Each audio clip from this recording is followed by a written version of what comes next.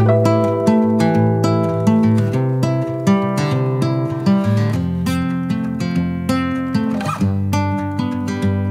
yeah, thank you all for coming.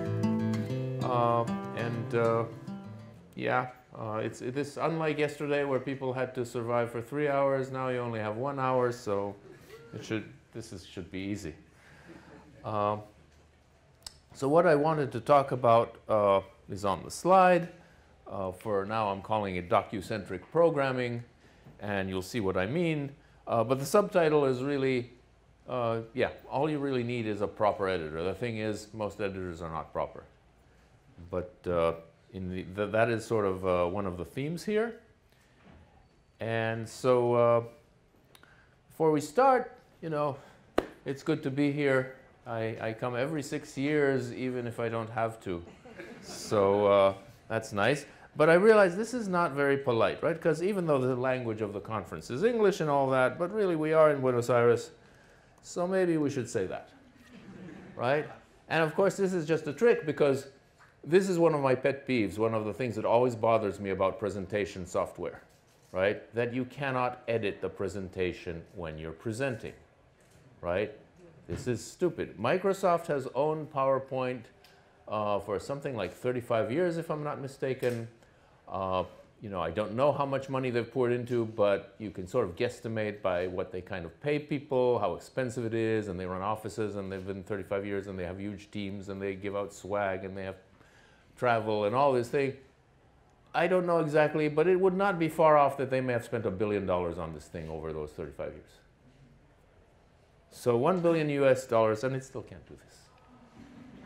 So, uh, you know, and you, you could say that's a little unfair because you can do it if you're not in the presentation mode. If you're in the, the, editing mode, you can do that, and you can still sort of see the slides. And nowadays, people even do that because it interacts poorly with Zoom, and they don't manage to get it to work all at once, and it's all mainstream software.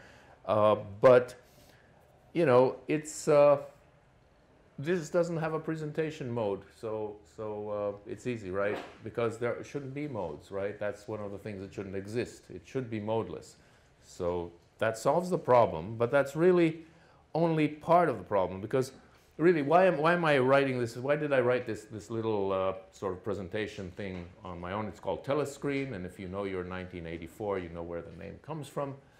And uh, I did it for several reasons, but one of them is, right, I need to demo Newspeak stuff, and I want to demo it. I've always had this interest in, in literate programming and live literate programming, so I want to demo it in documents, in web pages, and in slides, and so forth.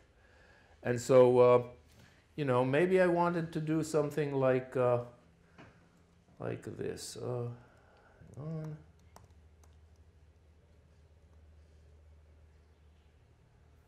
So maybe I want to do things like this. I'm sorry, this is something I haven't, so it's really tiny. But there is a hello button here and it says hello. This is even tinier, but it says it says hello Buenos Aires, and that that I, that is a, this I can still fix. This I don't think I'll ever be able to fix because it's the, the, the, the modal dialogue of the of the operating system. But really, the point is that I can put in live buttons and I can edit in live buttons and or, or general widgets into my slides. Right? That was sort of the important thing right? So all of this is just, uh, just a means to get us started for this discussion of, uh, of, uh, of the slideware and where it leads us, right? Because I really want to show you my slides, and you say, well, you're already showing the slides. Well, no, but I really, really want to show you my slides, and this is my slide, right? So again, you probably can't read that, but that is, God forbid, HTML, and that is the source for the slide. The thing is, I've done presentations before where I edited HTML by hand and put in, you know, things to, to have Newspeak code in but I got tired of that, so now I can actually do it interactively. But the point is, this is a, the, these, these documents, there's an editor where the model of this thing is the HTML markup. So if we, let's see if we can make it a bit bigger and see what we can see. Right, so somewhere in here, I don't know if you can see, but there should be, yeah, this is where it says hola right? I don't know if you can kind of make that out. Or is it even highlighted? Yeah, it's right there. sort of toward the bottom, right? So if I went and decided to say hello after all, right? This is the model, right? When I change that, I change the, the presentation, and it works both ways. If I go back, watch, watch that guy, right? So these two, the, the, the, HTML is the model for, for this thing, so it dictates, and every editor has a model, but usually it's some data structure that you don't know. I think it's really good to have a markup language for that purpose. So there's something that you can see that is human readable, that has semantics, that you can search, you can manipulate. There are lots of advantages to using a markup language. Now, in a, a better world, I would have a different markup language. I have a, a, pretty nice model for how, to, how a markup language should work with, with something like Newspeak. But I am only trying to boil one ocean at a time. I haven't had much luck with that. I'm certainly not going to boil the other one. So we're using HTML because that's the, the one that, that is out there, and, and that's uh, one war I will not fight. So it's, this is an important point in itself, that that is, I believe, a, a correct model for an editor to have. That there's a markup, and you don't want to live with a markup all the time, right? You'd rather have an interactive thing. But there are things that are actually captured better by, by a markup which has a semantic structure, and you want this kind of coordinated view, right? Now, if you look, the other point about this, remember our button? We had this little button down here. Uh, the hello button. And it's represented here by this thing, this div class Ampleforth. Can you see that at all? Probably not, right? But this, let's, let's zoom in on the markup a bit. Is that workable? Yeah, okay. So, right, this is a standard trick that people use with, with, with the DOM. We have these divs, they have a certain class, and then we can use the DOM API to search for them, and Ampleforth, which is the name of the editor, and if you know your 1984 really, really well, you might know where that comes from. Uh, you probably don't. So Ampleforth, at some point, Winston, the hero, he gets arrested, and he finds himself in, in a cell with a guy called Ampleforth, who also used to work for the Ministry of Truth. And Ampleforth's job, his job before he got arrested was to convert old speak literature into Newspeak. Okay, so he was a literary editor that, was, that knew Newspeak. So we have a literate programming editor, and it's called Ampleforth. The point being that uh, Ampleforth here can look for these divs, or not necessarily divs, spans, whatever, nodes that have a class, right? And then identify that's, that's things it needs to look at. And there's a name here. And the name attribute is say hello. That's what we typed in. Remember when I started, I typed say hello. And this is a unary selector what will happen here is we will send this message. We will get, we will basically take the text that we had, it, or that's in the name attribute of this div, and we will use it as a message send, which we'll send, which is supposed to give us back a widget that we can insert into the DOM. Okay? And who do we send the message to? Right? So that's a question. The message, uh, come on, go back to normal size. The message here I don't know if you can see the menu, but it says inspect document object. So let's inspect the document object. The document is, of course, an object, and now we have an object inspector on the document. This stuff up here is object inspector stuff. If I press this, there are things like slots and their values, what you usually see in an object inspector. Right, we can make this a bit bigger again. Uh, not that big, maybe. Okay. Anyway, you can see it has slots. It's an instance of documentric slide 2, doc, docucentric slide 2. Docucentric is the name of presentation. I give them names for each slide has its own class. And that class has messages, so it supports say hello, right? So if I open the class, I can look at the class in the context of the object, and here, here's say hello.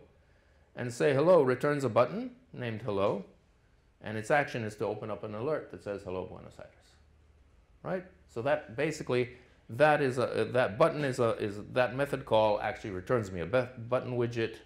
And if I evaluate this thing here, right, I can evaluate it in the context of the method. And, uh, oops, there we go. It's a button fragment. That is the Newspeak UI's uh, representation of a button. It knows how to turn itself into a button, you know, uh, a button element, uh, the DOM thing, so it'll actually display, right? Doesn't matter. The point being that that's what it returns us. So when we get that back, we can do surgery on the DOM and insert it where that div was, which said Ampleforth, and we can put it into the context of the document, right? So this lets us put arbitrary widgets into, into the document at, at any point, and that's kind of nice. And we do it, and every, every slide can have its own scope with its own messages for what, what I want to show, right?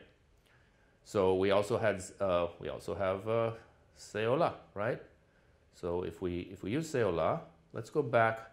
See, this is, this is the, this thing, the object inspector here. Uh, there are views. This is actually uh, an idea we, we wanted to pursue for a long time, and I finally got jealous of Tudor and his, his beautiful stuff and says we should have like object views. So they're not nearly as elaborate, but you can basically choose how to view. This is the basic view, which shows you an object with its slots. But this is a view that actually shows you the document again, right? So, so this is like the view we said here. And if we go and say something like say hola, right? And what I want to do is actually show you the, I want you to watch this because it'll also, so what happened here? Uh, so far we just have say hola, right? It's right here. So if I go and click on this and make it a, uh, sorry, the screen is like a bit too, uh, what am I doing here? Yeah, I need this, this toggle bar to be open. Make that an amplet. And I want you to actually see this. the button will turn up. So if I make it an amplet, do you see how that changed? Right? The, the HTML source got edited to have a div in it. So it goes both ways. If you write a div in the HTML source, you will get an amplet. An amplet is a, a little live widget in the document. And you will get it if you type it in the HTML source, or if you convert, you know, one of these things here. So now we have the Hola button, and it says Hola, Buenos Aires, right? So this is, this is just the mechanics of how we, we can, basically, I can very cheaply utilize all the stuff in the web browser to produce an editor now this is the double-edged sword because this is using content editable and if you ever worked with a web you know that that is a world of pain. And so it does a lot for you by itself but the minute you actually want to control it you're, you're up the creek without a paddle. Right, so I'm not sure we'll continue with this, but otherwise I actually have to write a whole editor. Right, this this does most of the work, except it does funny stuff part of the time. So it's so I'm not sure if I either you you make it do the right thing, which is an enormous amount of work to figure out all the strangeness, or you write your, anyway, it's complicated, but, but the principle of the thing is, is what we're talking about here. So basically, we can either insert them interactively or we can edit the, the HTML directly, right? We can go here and let's add a new uh, div, uh, an Ampleforth div here. I'll copy that and I'll stick it in somewhere uh, like here and we'll give it a name equal say hi I think is the other method we have and once we close that we have hi oh see this is interesting. I don't know why it turned out to be this shape but it works because we do have a say hi method up there. If we look there's say hi they're all the same except what they say right? They say hi hola hello whatever right? Uh, if, we, if we choose to say, put something else in here, let's say, say adios. Right? Now, what's going to happen? yes, yes. And you weren't even at the tutorial yesterday. Uh, yes, exactly. So here we have message not understood, and that's a link, and we get into the debugger. And then we can go and do the usual thing. We can go create miss missing method, say adios, and we can tell it to put in, you know, button, whatever, adios. Yes, go ahead while I'm typing and ask. Don't ask. Okay, yeah, just, just don't ask. Good idea, right? Action uh, alert.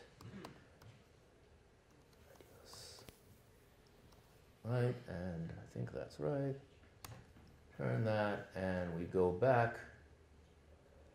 And uh, yeah, we have a button, adios, and it does, yeah, whatever, right? So basically, uh, the, this document leads you into the IDE when you need it, right? And the nice thing about this whole story here is that you can start with an editor and just edit, right, whatever you're doing, and then there, you can sort of gradually get into programming, and it, and it connects you through this object inspector on document into the, the entire system. So that's kind of uh, the basics of how this whole, of how Ampleforth works. And, uh, okay, let's go back to our presentation somewhere, which was this guy, right? So this is the whole uh, slide, and let's go to the next slide, right? So of course the point here was live literate programming originally, right? So it wasn't just to put buttons in slides, right, but to, to more generally. So here's another example that I've shown people. And again, the widgets are tad on the small side, but we have this counter. And it has an increment button, and it's live, right? We can increment, we can decrement it, we can reset it, etc., etc. So that's done in a similar way. And, but usually the, the thing I really wanted to do with these sort of things, right, here again is, this is the code that defines this counter, right? And let's, we'll probably need to make it a bit bigger. Ah, come on, get bigger, right? So this is a method browser embedded in the slide, right? And the method browser, this is this is shows you a bit of how the, the UI framework in Newspeak works. Basically, there's an internal DSL. These are all message sends, but they're kind of in, in a style that lets you define UI things. So there's a row, and the row has a label with the count, and there's a button named increment, and one named decrement, and one named reset, and each of them has an action that you know tells the GUI that something is changing because it's reactive and needs to know that, that then it'll make sure that everything gets updated and basically does the actual increments. Here, subject is a thing controller, right? So this is Vassili's uh, uh, version of model view controller, which is, in my modest opinion, the best one I've ever seen. Um, and so you have models, which are just models, and they don't know anything about UI, and you have uh, subjects, which are sort of the semantics of the application and you have presenters, which are the view, right? They present, they're the presentation, and the subject is the subject of the presentation. That's the actual logic of things, and the model is just some, some data somewhere.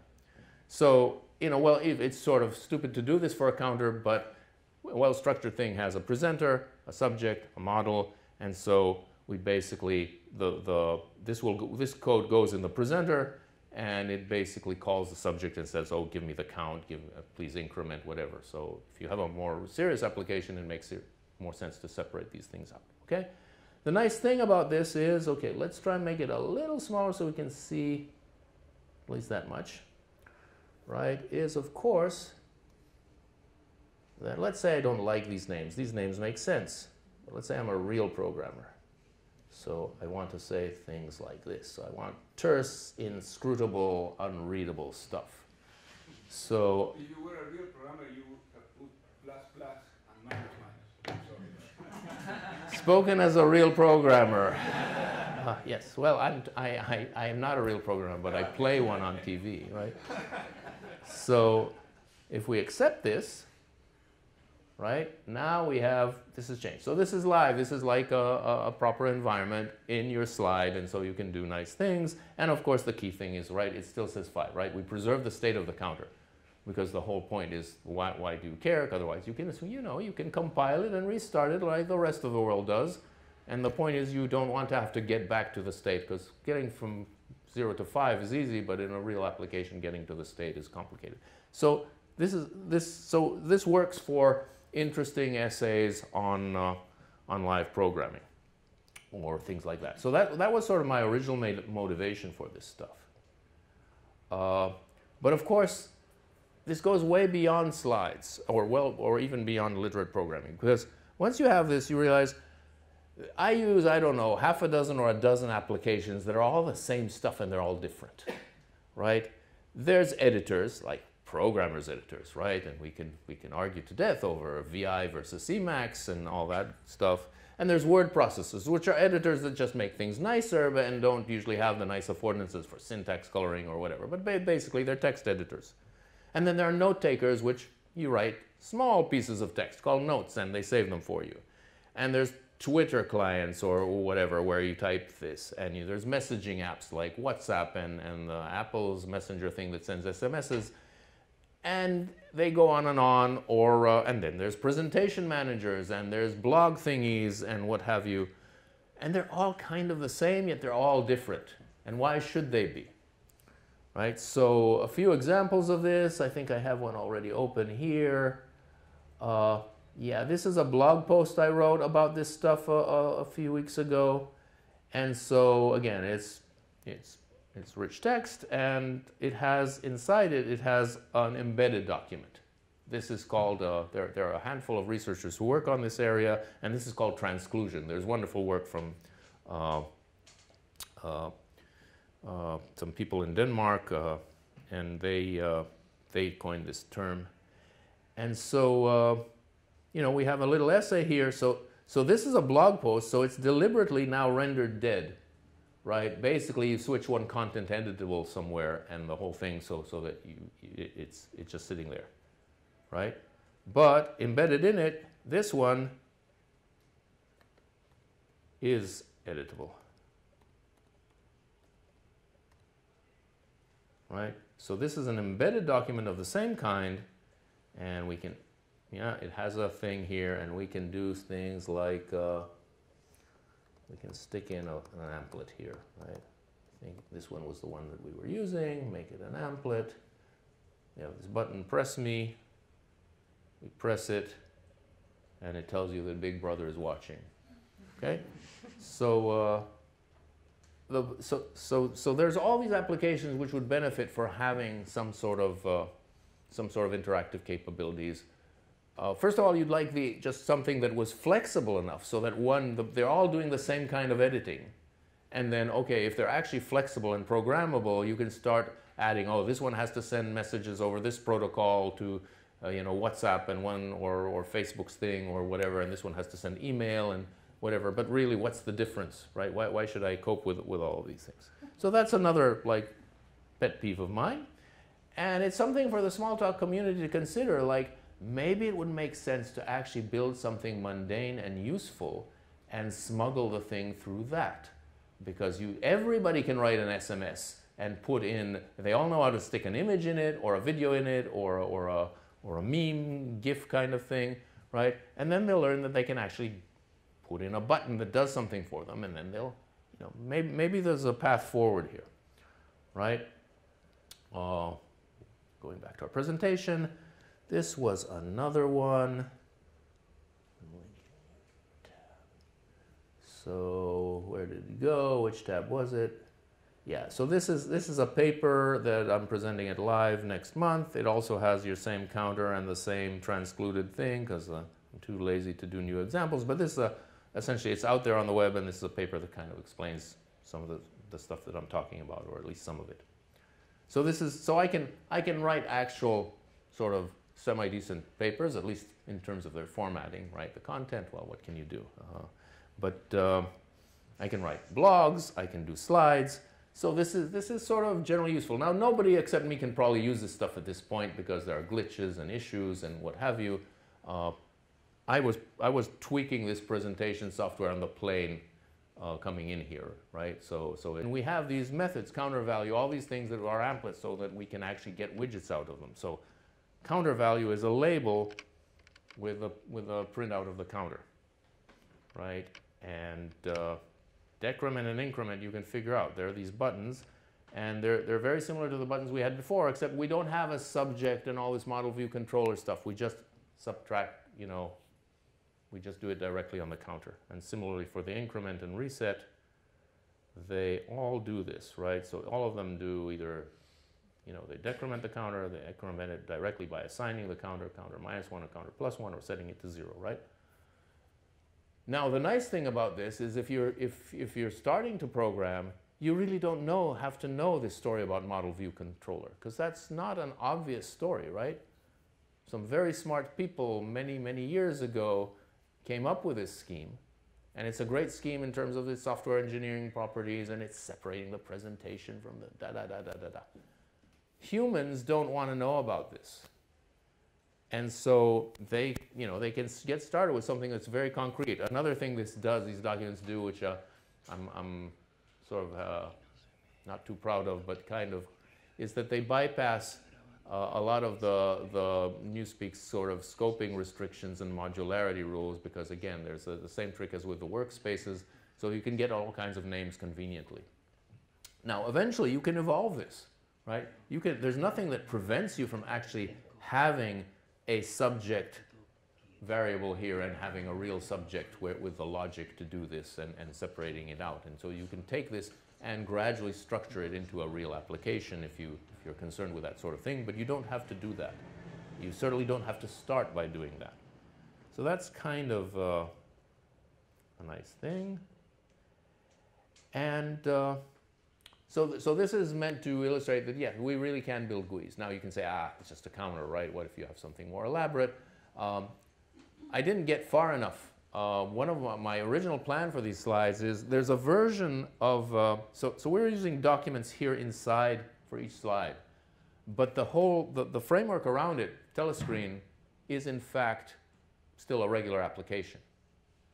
Now, what I want to do, and that's not quite done yet because I, I, didn't sleep enough as it is, uh, but I can make telescreen a document, right? What is, it's another document. It's, it's instead of just three buttons and a label, yeah, it has, you know, a toolbar and, and, a, and a sidebar and, and things like that. But, you know, I can paste them. Basically, I can do vertical orientation by, by sticking returns into the text. And I can do horizontal by putting spaces. And no, I may not get perfect grids. Then I can start actually putting widgets that, that are flexible things if I really get fancy. But basically, I'm arguing that you can pretty much get away with, with, with sort of the, the grid of characters that you're used to and replacing them with widgets. Uh, you need to improve things like uh, the sizing of things. So the widgets need to, to kind of get their formatting. And one of the things here, you'll notice I can't, uh, this, this button works, right? So a button's an interesting one because it responds to clicks by, by doing its button thing. But in general, um, there, are, if you, there are widgets where you might be able to edit the text of, that's on the widget, which you don't usually want to do, right? Sometimes you want to do it when you're actually building the GUI, but often you don't. Now the nice thing about this, nice, you can debate nice, but unlike Morphic, which is a thing of beauty in itself, we don't have the problem that people accidentally mess with this, right? If you actually want to, to really, uh, you know, destroy things, well, you should have an undo because I can destroy some things, right? I can go here and, yeah, if I accidentally, right? So they're, they're basically like any good editor, if this was a real editor, we'd have an undo button and, and they'd come back, right? Uh, yeah. Ah.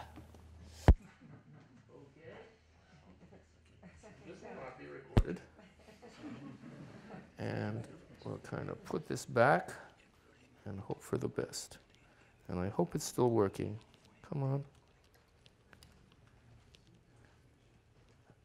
So where's our tech guy who knows whether this is really working? It's working. Yeah, it's working. Yeah, Good. Okay. Oh, you're the tech person. Okay. not the tech guy, yeah, yeah, not a guy. Sorry, I didn't. I, I was thinking of him. I didn't. I didn't even realize you were out there. Sorry. Don't worry. Uh, let's see. So where were we? Uh, basically, if you really want to mess with this, right, one of the things we do is, well, you can't actually see it here because we, we preserve the original divs that say Ampleforth in the source, right? Even though the DOM is, has changed because the DOM has the actual tree for, for the widgets. Now, I stick a content editable false on them so that they won't be editable so you don't go mess with your internal components. Unless you want to, which then you basically have to go and, and there has to be an affordance to do that, right? I, I, can edit this HTML raw directly, but this is not something that someone can press by accident. I still remember the way back when we were working on Newspeak the first time, when when we had uh, we were actually selling developing a product and and we had someone go out to to the the people who were actually willing to pay for the first version and she did a dry run of her presentation and she stepped on her slides because, yeah, because we, we had shut down most of Morphic when we had forgotten one place, and then she, she suddenly it didn't work because she was she was editing the slide instead of actually type making it do its thing. So you really don't want that to be inadvertent, right? So Android has this thing where you, there's some things you can do only if you press something seven times. Literally, I'm not making this up. So that so it's really if you want to edit it, you know you have to know this in the in the and know if you press this click seven times, then you get into some mode where you can do some some strange thing to to the UI. To enable developer mode. Yeah, whatever it's yeah. So the point yes, the point being that you want you don't want it to happen by accident, so you make it really obscure. So this is, I think, a better better solution, right? If you if you know enough to open this side view and start editing the HTML, then you probably do know what you're doing and, and you want to, to change it. But you, you, you can't do it inadvertently, right? You can only do it inadvertently in the terms of actual editing operations, which should be undoable just like any other editor operation. So this is, is kind of uh, nice. And yeah, here's a conventional counter. That's the one that we saw embedded in the first slide and it has all this stuff. Let's just go to the counter UI and right and make look right. So there's a, a this is a counter UI a module, and it has a counter presenter, and inside there is uh, is a definition method we saw earlier, right? And you'll notice because we changed it over there, this is the real the counter that, and it says plus one minus one right? Because we did change it, right? And it has all kinds of boilerplate that that's, that the UI framework wants. So there's also separately, there's a subject with this logic, and there's actually counter objects, which are the models for these things, which are just a box with an integer in them, right? So if you really know how to program and you understand the ah, UI, you know all this stuff, and you could evolve the thing we just did in the editor into this for, for a real application. But again, my point is you don't have to know all this stuff, right? You can just run an editor. So we've really gone beyond slides here because we have, very much as with Morphic, we have this idea that the GUI is the GUI builder, right? Which is a beautiful idea. It's modeless. And because it runs on the web, it's also a web page builder. And it's, it's an editor, and it does all those things. Fundamentally, that's what your editor should be able to do. And now, because we're tied to the IDE so we can program these things, we have a complete IDE and yeah, another exercise that should not be very difficult to do, and if I had more time, I'll eventually do it probably for, for the next time I present this stuff in a month or so. Uh, computational notebooks.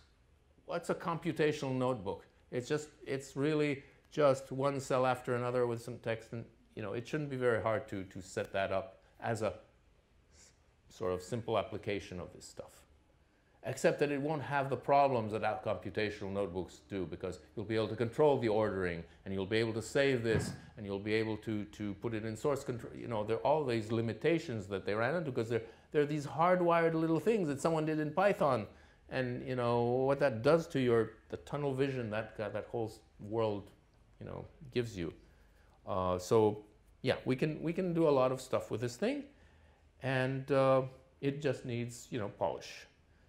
So basically, the argument for docu-centric programming is that documents are natural UI. Everybody can edit text, almost everybody. Everybody can edit an SMS, right? By the time they're six or seven, and really you could, you could teach them this when they were three. Uh, so this shouldn't actually come as a surprise to anyone, because if you think about it, you know, this is not my, the web is based on documents. First of all, it's not my idea because there, there's interesting UI papers in, in, uh, from like 30 odd years ago, which basically said the same thing, right? Uh, but the web, right? The web, you can write arbitrary, pretty advanced applications in the web. And what is the web? The web is basically a mark based on this markup language for, for documents. So it really shouldn't be surprising that you do it. But the web is, well, the web is, first of all, it's, it's geared toward passive users. So that's the other thing I want to, to harp on, right? That this expectation that, you know, what is the web for? It's for some people to sit in front of and watch advertising. That's, uh, that's what it's really for. And so that's, so it really doesn't encourage, right? It doesn't encourage editing. For, for starters, it has a built-in content editor that is the world's worst editor ever, right? That, and, you know, why didn't they, why did they already invest if, if a billion has been spent on PowerPoint on these web browsers, God knows what's been spent, right? Uh, and yet they, the editing is, this is the one part, the web has gotten a lot better at being consistent and actually implementing things. I've had very little problems across browsers. The one thing that behaves differently, that really needs Chrome, is, is this content editable stuff because that does different things in each of them. So it'll do most of the basics, but it won't do things like this. So this guy, if I say Applebee, I get, you know, I can bold things, so I have some functionality here that I can do automatically, right? It's built into the web browser, that's kind of nice. But that doesn't work in some other browsers, right? It's all a mess. Because really, they didn't think that anyone should be editing. If you edit it, oh yeah, set up source control, put your, your HTML files in Git, da, da, da, this whole horrible, warped. Anyway, I, I should stop. Uh, and so that's basically passive users, right? And, and we'd like to enable users to actually have some control over, over, over this stuff. The, and, and related to this, of course, is if they're going to do that, they, there needs to be real support for live programming. And it's, I don't want to say that it's not there at all because JavaScript, it, I mean, I made it work, right? It is there somehow, but it, it's just so hard to do it because it's not like out of the box. You can't, the idea, oh, you can reload the page, fantastic, thank you, right? You can edit your JavaScript in some other text editor and then reload the page. And of course, the state of the application is gone and all these things. And you can't change the schema of the object on the fly because you can't even find all the objects no matter what you do. And whenever you try to propose one of these features, they look at you and why would you want to do that? And it, it is really, really isn't set up to, to do this. So we need something more civilized on top. Yeah, and basically, you know, uh, it's just it's just ugly. It's just awful. It's just a, a really, really nasty set of, of complicated, uh, taste blind things that, you know, won the lottery by being in the browser. Uh, so, what more can I say? Again, I think I've sort of said this. In a sense, this has a low floor because you start with just an editor. You don't even need to know that it does all this stuff, right? It's an editor. Any, anybody can write a tweet and anybody will. And uh, on the other hand, yes, we can get to this full live IDE and you can write all kinds of stuff in it. And so this is a, a pathway and it gives people control over the, what they want. There's an argument that they don't want control, right? That was Steve Jobs' point, you know, they don't actually want control. They want, uh, you know, uh, what's the English for this? The, the phrase the Romans used at the Colosseum, bread and entertainment, bread and games, or the, there's a... Circus.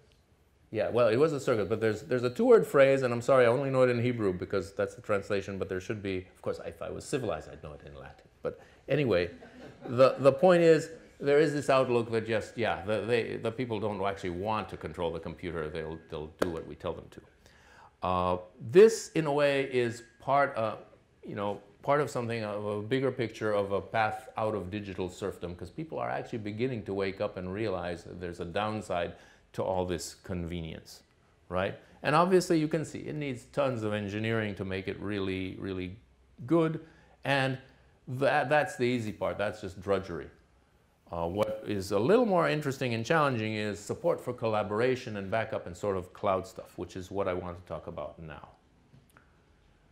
Right? So this is kind of things that haven't been done. It's been, this, this thing has been future work for me for 17, 18 years now. So eventually I'll, I hope to get it done. So there's this idea I had of objects as software services. And, uh, and that's by itself is a talk which I won't give here because we were mostly through the talk. Uh, sorry, next. But the basic idea that I had, uh, I, uh, I'll tell this story again because probably most people haven't heard it here. In, on April Fool's Day 2004, Gmail was released. I don't know if that was deliberate or symbolic or what. But um, very shortly thereafter, I, started, I, I got to use it back then, oh, Google finally will solve my, my email problem, right? That was a point where everybody loved Google. They were full of pixie dust and people assumed that all they did was great because the search it was and is fantastic. And I said, ah, there'll be an email. And I used it for half an hour and then I decided, nah. And it took me years to come back to it because yeah, there's still no email that does what I want. But I did, it did, it really opened my eyes. Wow, you can do all that in a web. This big complicated thing actually will work in a web browser. And then I started thinking, and I had this idea, well, why is it that I wasn't happy with Gmail? Because I wanted some of the stuff that the, the local apps can do, the traditional apps can do. At the same time, you know, for email, it's sort of almost naturally connected. It has to connect at some point. But generally, this idea is that you want apps that behave like local apps, but also have the advantages of web apps, right? So web apps have a nice property that you don't have to install them. You don't have to update them. You don't have to worry which version. You don't call customer support and they ask you, are you on 3.2.5 or 3.2.8 or none of this, right? So they're always up to date. And they're always available in, in several senses. What does that slogan mean? It means they're available from anywhere as long as you have a network connection and a machine, any machine. And that's kind of nice. This stuff works on a phone, right? It's a little awkward to type, but you know, but it certainly works on a tablet. With a tablet, I have an iPad with a keyboard, and you can do all the stuff I've done here quite conveniently, right? And I didn't have to port it or worry about it. So there is this universal availability. And if I, I didn't bring my computer, I could borrow a machine from someone here, and, and as long as I put it out there, right? So there's lots of advantages to that. But there's also another sense of always available, which is that even if the network isn't there, it's available on your machine when it's disconnected, right? If the network isn't there, or if the network is too slow, or if the network costs too much money, or if the network is just fine on your end, but you're connecting to this cloud server that is under a denial of service attack, or what have you, you know, anything that can go wrong, it still works because it's on your machine. And so that, that was kind of, uh, uh, that was actually the, the motivating idea for Newspeak, except that it's quite hard to pull off. And we built the language and everything first, and we were going to tackle this, and then 2008 happened, and we lost all our funding. So anyway, uh, we go to the next slide. Basically, why is this hard? Because of merge conflicts. Essentially, what happens is now you have this thing that you're putting out on your machine, and, and if you disconnect, it's still on your machine. But you could be connected somewhere else, or someone else could be connected if you're collaborating through this thing. And it can evolve independently. And now you have multiple copies that may not actually be the same. And when you get back online, they have to be synced up. Right? This is basically what, what Git does for, for source control. Of course, it's programmers, they tolerate anything, and it's complicated and horrible and so forth, but the root of this is merge conflicts.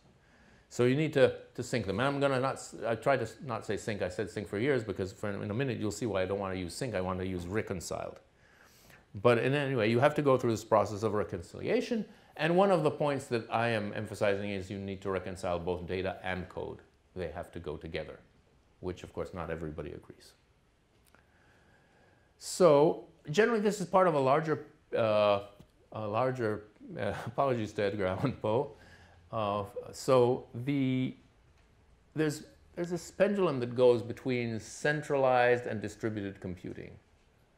Right. Once upon a time, there were these mainframes. My back in, in the dark ages of history. While Dan was inventing the future, I was I was a teenager working on an IBM mainframe as an operator in the Stone Age, and, and it was only years later that I saw this unbelievable thing that, that they had done, roughly at that same time. But these mainframes, right, there were these things that occupy a room this size with big thick cables under the floor connecting them and, and disks that are the size of refrigerators and all these things, right? And you had to connect, and, and the breakthrough was you had time sharing. You could connect to this from terminals and, and type and run multiple users could use this at once and they just then you'd have this university-wide network and connect to, to the computer and all that stuff. And that it was called time sharing until well, then the pendulum, then there was personal computing that, that someone here and, and, and his colleagues invented. And the pendulum went back and we had these cool Apple machines and whatever. And then it started swinging back. There were things called X terms and thin clients and whatever, and going back. And, and eventually there was, they were back to time sharing. It was called cloud because that sounds better right? But it's basically time sharing, right? On these giant data centers. But what are they doing? They're, they're time sharing. You're, that whole, well, there are actually now many, many processes. It's gone hugely sophisticated. But basically, is it in some center somewhere or is it distributed under in personal machines that many people have and under their control? And it keeps swinging back and forth because there are trade-offs. So people are getting, I think peak cloud is finally over. People are getting fed up with the cloud again because what it leads to is a concentration of power, whoever has those centers, right? And if you've ever, I haven't yet, but after this talk they'll, they, they might, but uh, well, they have better things to do. But if you've ever been banned from Facebook because someone stole your credit, something went wrong, and then you find out that there's no one to talk to and no way to do it, Or if you used to have data on Google Plus, and then Google's promise is it's your data, we'll give you back your data. And if you ever got your data back and realized that there's nothing you can do with it because no one actually validated or tested this process and the links are all broken internally and it would take me days to actually turn this data into anything vaguely usable, then you realize that you cannot actually trust any of these people and you cannot rely on them to, to keep your data, right? And so that is why people are beginning to, to think differently. So an interesting thing that's happened in the past few years is this thing called local first software, uh, which is a slogan. Uh, Martin Kleppmann, I think, and his colleagues came up with this. They wrote a paper, and it's a very nice paper. And they this clicked for people. They, they emphasized every possible advantage almost of, of this thing. And even though I'd been talking about this for many, many years and no one paid attention, suddenly people paid attention to what they said. They said it better, they, they said it more clearly, and or the time was right. In any case, it's a little different, but their, their emphasis was that, yeah, it should run on your machine and you should own your data. And you, yes, you should be able to, to collaborate and, and sync, reconcile, whatever, but that's a, that's a, that doesn't mean that it should be under the control of this cloud provider of whatever it is, yeah, Google or Amazon or whoever, right? And partly they, they, the, the technology for uh, dealing with these conflicts has gotten better. There's these things called CRDTs, conflict-free, uh, conflict-free, uh, whatever, data types. What's the R? Anyway. Um, so that's a technology that sometimes works, sometimes doesn't, but certainly makes the the, the problem more tractable. And, but all of this is about uh, data reconciliation. They don't really deal with code. That's one of the differences. Uh, because there is this trade-off. The, the, what I describe still says that there's uh, someone, you know, evolving the code. And one of the arguments they make, oh, if you do this this way, if you don't like a new version, you stay on the old one, right? Your old version of whatever your application was, which is attractive, but also a problem because then how do you collaborate with a person who has updated their software and so forth. So I, I, still think that we should actually automatically update. But anyway, uh, so it's really always available is, is, is they're, they're doing that, but they're not doing the always up to date. But really, part of the argument is they want peer-to-open, peer-to-peer protocols that could do this, even though in reality you're doing it so you still want some centralized thing, because when you synchronize, who are you going to synchronize with if, if the other person isn't actually online? And if they are online, why was there a problem synchronizing in the first place, right?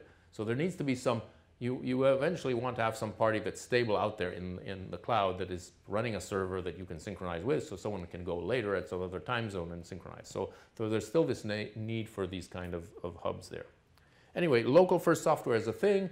There was a workshop at ECOOP. Uh, it's really picking up steam. And so that's kind of, again, this, this battle for user agency and it's related. Why am I, what, what is the connection, by the way, to everything I told you before? Because that's what's, yeah, again, I, I said that. It's missing, right? So one thing PowerPoint, which I ragged on, will do for you is it actually is a sort of local first app. It'll, you can run the local uh, traditional PowerPoint or you can run it in, in whatever it goes, 365, Microsoft, whatnot, and, and it will sync it up and, and do things up to, up to a point. So they do do interesting things, and, and we want, if we want this editor to really work for people, not for me, but even for me it would be convenient, right? Uh, I'm satisfied to do this just so I don't have to use the regular mainstream crap. But if I, if I want something that I could say this is really a valid thing for people to use, then we need to address this collaboration problem. Or, or and not just uh, backup as well, right? A reliable backup somewhere on the network. And so this is why I didn't want to use synchronization, because otherwise I end up talking about synchronous and asynchronous synchronization. And asynchronous synchronization is really an interesting thing to think about. So it's re the reconciliation, there's basically two flavors. And uh, Vanessa will tell you much more about this tomorrow uh, because she's doing real work on this. But basically there is the synchronous kind, which is what Croquet does, right? This is real-time collaboration. And there's the asynchronous thing, which is what the local first are talking to, about because that's that means you can be offline, right? If you're offline, croquet kind of uh, has a mechanism for catching up, but if they're different, basically you, you cannot have variance. If, if you're offline, you can't actually change things in that model. You'll hear all about it tomorrow, but it's, it's a different thing. Uh, they're both useful for collaboration in different forms, and really we'd like to have both. So uh, yeah, this is our counter application again. And you notice now it's saying plus minus one because it's all going to the same counter. And, and actually this thing, I'm amazed, is actually is working and, and is updating because the slide, as I remember it, had, had the, the, names. But can we make the this counter collaborative without changing it? Right? So I want that same counter code that I sort of showed you with a counter subject, whatever. Not the one I just made up in the document, though that too, that's the end goal but I want this to be collaborative. So now I'm going to try something that has worked when I try this on my own, but of course it'll probably do something horrible when I try to do it now in front of an audience. But also you can participate if you have a machine and you have the patience to uh, get this URL, right? Because basically I have a counter app out on the network that is working through Croquet and lets everyone count together if, we, if we're lucky. Uh, now, this works a bit better in North America than here because I think the, the croquet reflectors are, are, are less uh, dense on the ground or something around here. It does work, but it's, it seemed a little sluggish.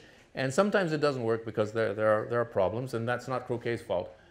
Because Croquet does it through JavaScript, and there's a library, and you have to do it a certain way that it's designed to do. And what I'm trying to do is take my unchanged app that doesn't know about Croquet and have the platform take care of this. So if we go to this, uh, I actually have one of these open already. And let's see if it'll come up. Right, so there we have a counter. And we can make it bigger, hello. So we can see, right? So, and it's alive. The question is, is another one alive. So I actually have another one here somewhere. This is another one. And yeah, they're, they're in sync. So this is another croquet thing. Let me make it bigger as well. Sorry, yeah. Can you show the The URL, yeah.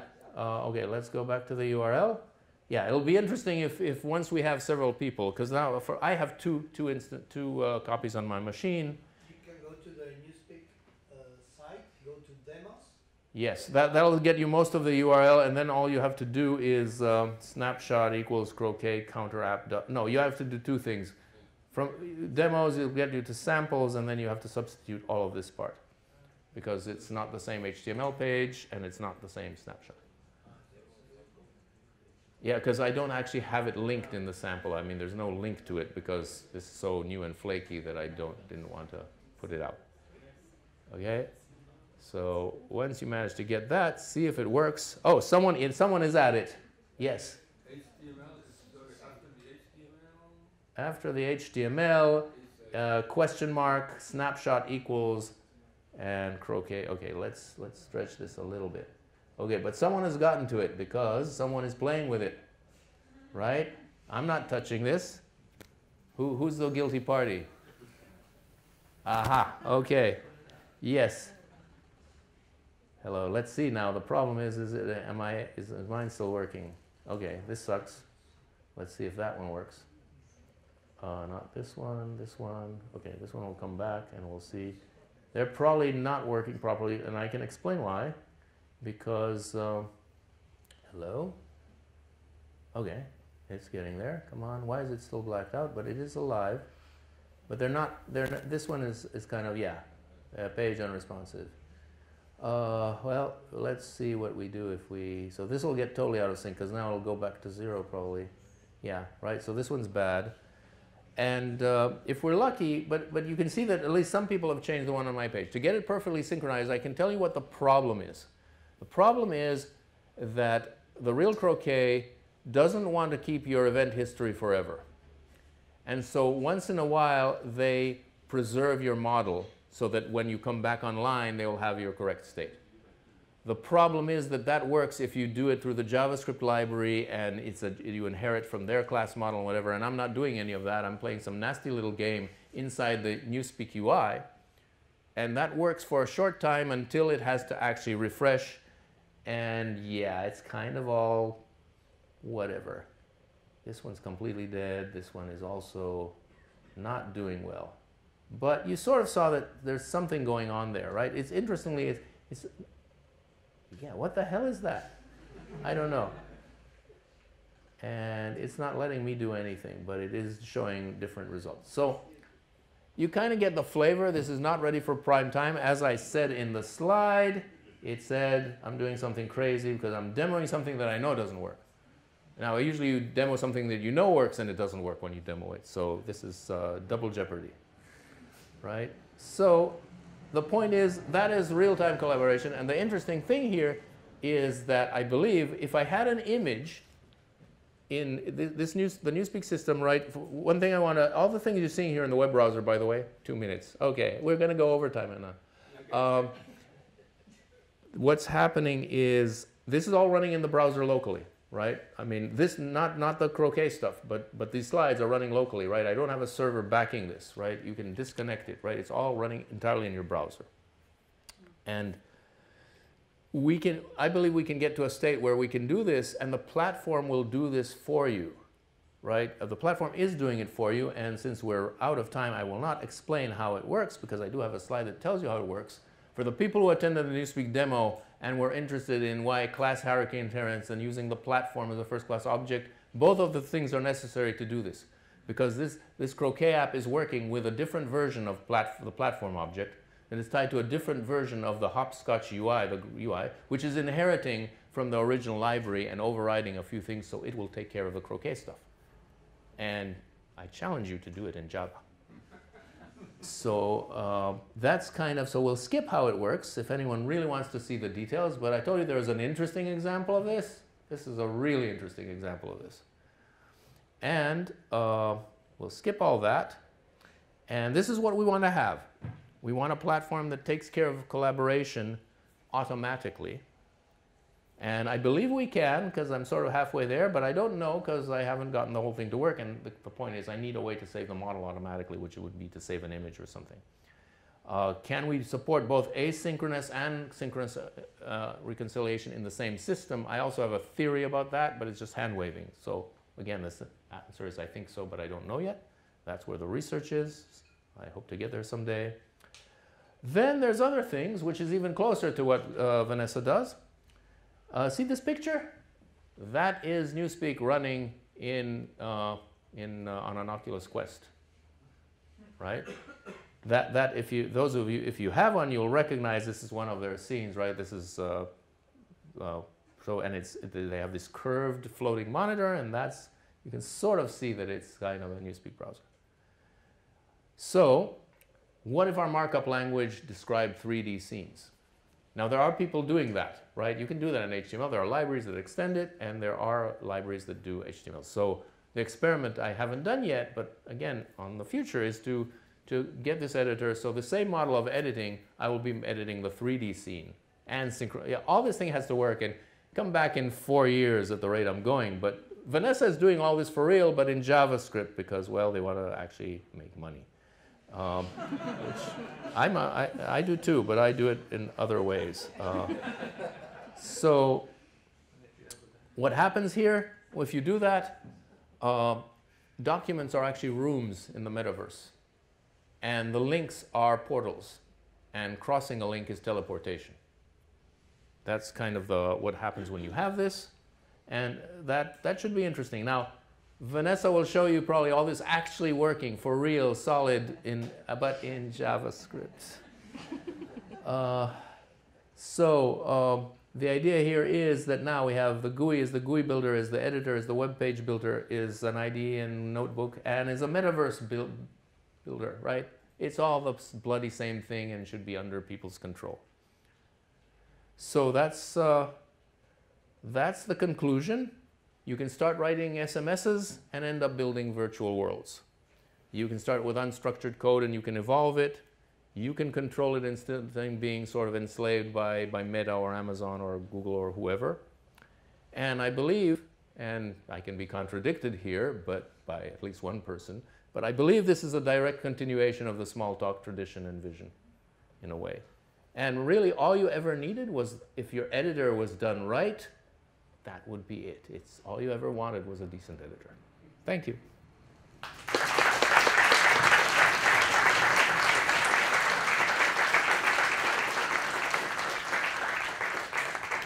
Let's, let's do uh, five minutes. Why, why do you think it's not here yet? I mean, you were talking about this for a long time, yeah. you said. Yeah. And it's not here yet. Yeah. Why do you think it's that? Because of us that we, d- we have this uh, Uh, tunnel vision and we don't yet? see the rest of the world? I think I think that uh, obviously I am not uh, good at explaining or selling this stuff. People are not good at absorbing new things. Uh, you know, uh, somebody has to make it. Partly, yeah, it takes time the, the, to, to actually figure out how to do it and make it work is actually a hard problem. And it requires funding and get and if it's hard to explain ideas to people, explaining to them why they should give you money is even harder. Uh, and so, yeah, I, I'm just not good at this. That's all I can tell you. Oh, sorry about that. Well, Yeah, you said you said you need an interim. Where do I do do I apply Well, for that? that, uh, that would be a start, right? What I need is five very top-notch, competent people, and I can take over the galaxy. I had Okay. them for about a year and a half uh, when we started the Newspeak. program. Where can we apply? If, if, if, you, if I don't have to pay you, you can apply right Yes. now. Okay, I'll call you in two years. I need two years. Yeah, yeah. Things that happen at small talks. Question. Anybody else wants to not get paid? Anyone who wants to not get paid, see me. We have lots of openings. yeah. Uh, Any other questions? any other question? Yeah.